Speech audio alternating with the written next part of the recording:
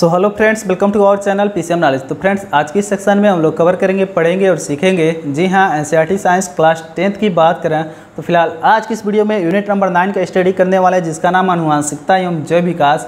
तो इस चैप्टर से रिलेटेड जितने भी M C Q question put up होंगे, जी हाँ एम सी क्यू में होता मल्टीपल चॉइस क्वेश्चन तो इस चैप्टर से रिलेटेड जितने भी M C Q question put up होंगे, उन सारी क्वेश्चन का easily step by step study करेंगे आज की इस वीडियो में। सो वीडियो में अंत तक हमारे साथ में बने रहिए। फ़र्स्ट टाइम है तो प्लीज़ हमारे चैनल पीसीआर नॉलेज को भी सब्सक्राइब कर लीजिए ऐसे लेटेस्ट वीडियो पाने के लिए। Yes my name is Anum Kumar Vishwakarma आप देख रहे हैं पीसीएम नॉलेज चैनल तो चलिए शुरू करते हैं यूनिट नंबर नाइन जिसका नाम है अनुवांशिकता एवं जैव विकास। और फ़िलहाल एक चीज़ मैं आपको बता दूँ यदि आप चाहते हैं कि इस ऐप का यदि इस ऐप को आप यूज़ करना चाहते हैं तो इस ऐप का लिंक मैं डिस्क्रिप्शन में दे रहा हूँ जाकर सिंपली आपको ऐप को इंस्टॉल कर लेना है। तो चलिए शुरू करते हैं यूनिट नंबर नाइन जिसका नाम है अनुवांशिकता एवं जैव विकास। तो चलिए शुरू करते हैं। रुको जरा सबर करो। जी हाँ एन साइंस क्लास टेंथ की बात करें। तो फ़िलहाल आज की इस वीडियो में यूनिट नंबर नाइन का स्टडी करने वाले हैं, जिसका नाम अनुवांशिकता एवं जैव विकास। तो इस चैप्टर से रिलेटेड जितने भी एम्स की क्वेश्चन पुटअप होंगे, जी हाँ एम की क्यू में होता है मल्टीपल चॉइस क्वेश्चन तो सारी क्वेश्चन का easily step by step study करेंगे आज की इस वीडियो में। सो वीडियो में अंत तक हमारे साथ में बने रहिए। फ़र्स्ट टाइम है तो प्लीज़ हमारे channel P C M knowledge को भी सब्सक्राइब कर लीजिए ऐसे लेटेस्ट वीडियो पाने के लिए। एस माय भी जन्म कुमार विश्वकर्मा आप देख रहे हैं P C M knowledge channel तो चलिए शुरू करते हैं question number one and question number one put up होता है, कह रहा है कि निम्नलिखित कथनों पर विचार कीजिए। ए में कह रहा है कि दूसरी पीढ़ी में पहली पीढ़ी से विविधता अलैंगिक जनन की अपेक्षा लैंगिक जनन से अधिक होती है।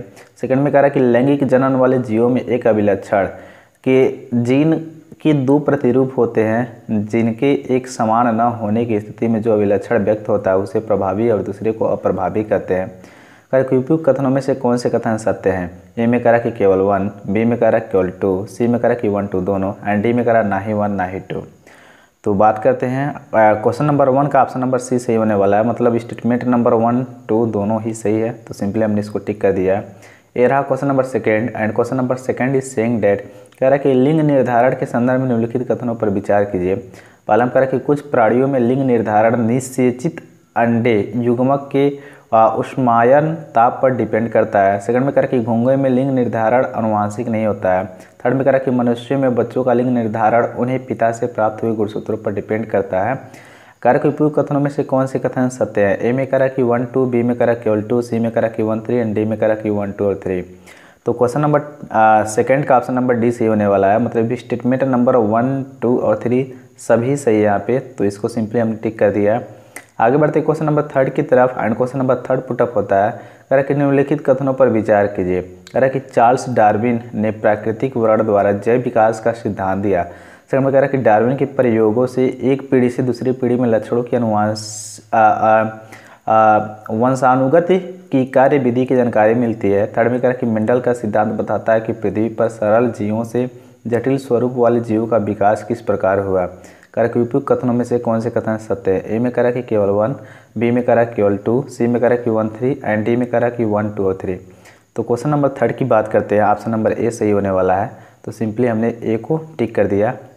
आगे बढ़ते नेक्स्ट क्वेश्चन की तरफ़ एंड नेक्स्ट क्वेश्चन पुटअप होता है। Question number four and question number four is saying that कह कि निम्नलिखित कथनों पर विचार कीजिए। ए में कह रहा कि पक्षियों, सरिसृप, जल, अस्तचर और स्तनधारियों के चार पाद होते हैं। सेकंड में कह रहा है कि जीव में किसी अंग की आकृति में समानताएँ होने का एकमात्र कारण समाज समान पूर्वज परंपरा है। कह रहा कि उपयुक्त कथनों में से कौन से कथन सत्य है?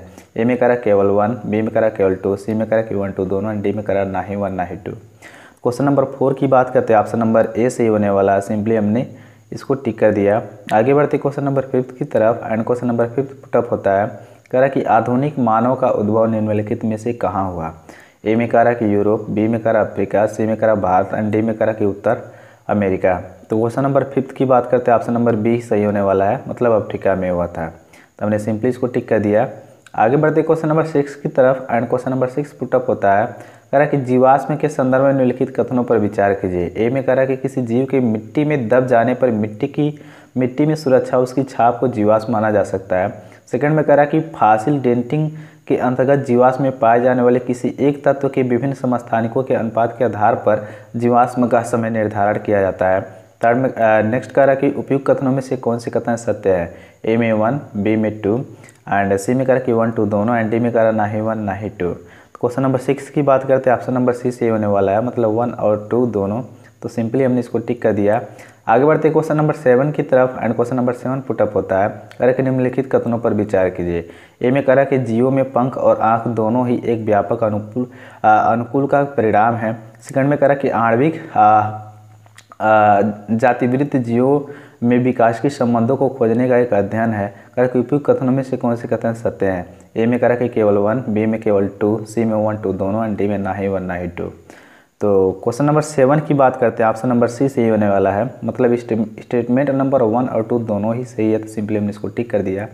आगे बढ़ते क्वेश्चन नंबर एट की तरफ़, जो कि लास्ट क्वेश्चन पुटअप होने वाला इस चैप्टर से related and question is saying that कह रहा कि निम्नलिखित कथनों पर विचार कीजिए।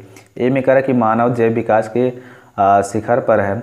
कह रहा कि जीव के निम्न अभिरूप से उच्चतर अभिरूप की प्रकृति को विकास कहा जा सकता है।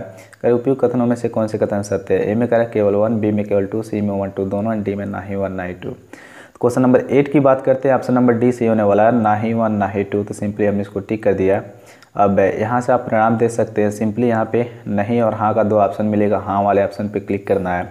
जैसे क्लिक करेंगे तो आप बताएगा कि सही उत्तरों की संख्या आठ है, गलत उत्तरों की संख्या ज़ीरो है। एंड प्रयास न किए गए प्रश्नों की संख्या ज़ीरो है। तो इस प्रकार से आप खुद से भी इसका प्रैक्टिस कर सकते हैं। इस ऐप का लिंक मैं डिस्क्रिप्शन में दे रहा हूँ, जाकर के ऐप को इंस्टॉल कर सकते हैं। आपके ऊपर डिपेंड करता है। तो फ़िलहाल मैंने यूनिट नंबर नाइन को ख़त्म कर दिया है, जिसका नाम था अनुवांशिकता एवं जय विकास। ठीक है? तो ये सिंपली ई e का एक क्वेश्चन था, और यदि आप नोट्स वाला चाहते हैं तो उसका भी प्लेलिस्ट आपको डिस्क्रिप्शन में मिल जाए जाकर के वहाँ से जो भी इस चैप्टर का नोट्स होता है, वो भी आप बहुत ईजी वे में पढ़ सकते हैं। तो फ़िलहाल आज के लिए इतना ही। तो नेक्स्ट वीडियो में चैप्टर नंबर टेन के साथ में आपसे मिलते हैं। थैंक्स फॉर वॉचिंग खत्म। Bye bye tata good bye गया।